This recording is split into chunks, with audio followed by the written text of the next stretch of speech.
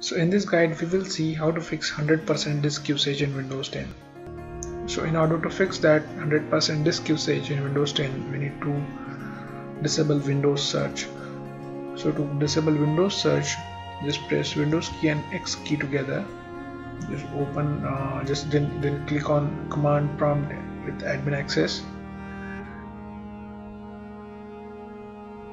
so if you are prompted to allow access then click on yes so in this console you need to type um, net.exe stop in quotes windows search.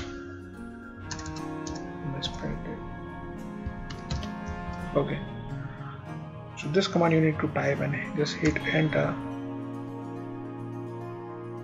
What this command will do is this will disable windows search uh, service which takes really heavy resources and which keeps on indexing your files in the background too.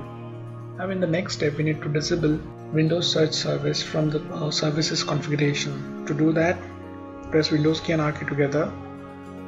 Type services.msc in this text area. Click on OK.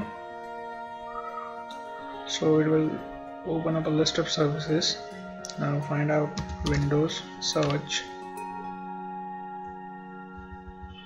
okay this guy.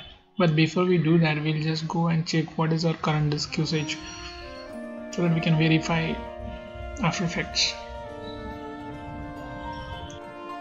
So where shall I get the statistics?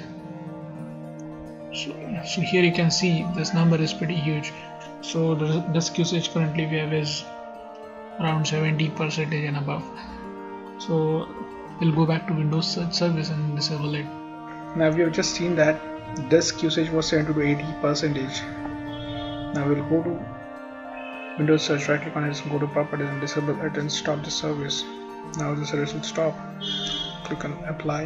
Okay now we'll just go again and check what it shows in the performance. Now it's completely zero percent. That's just pretty much of it